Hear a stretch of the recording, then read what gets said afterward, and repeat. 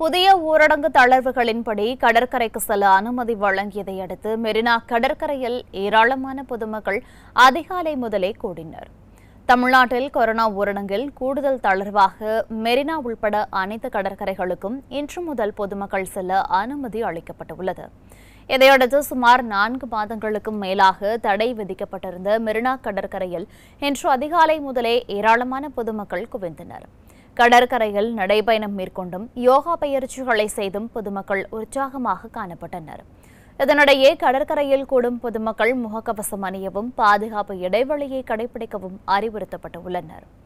மேலும் கடற்கரை கடைகளின் பணியாளர்கள் மற்றும் சிறு வியாபாரிகள் தடுப்பூசி செலுத்த அறிவுறுத்தப்பட்டுள்ளது.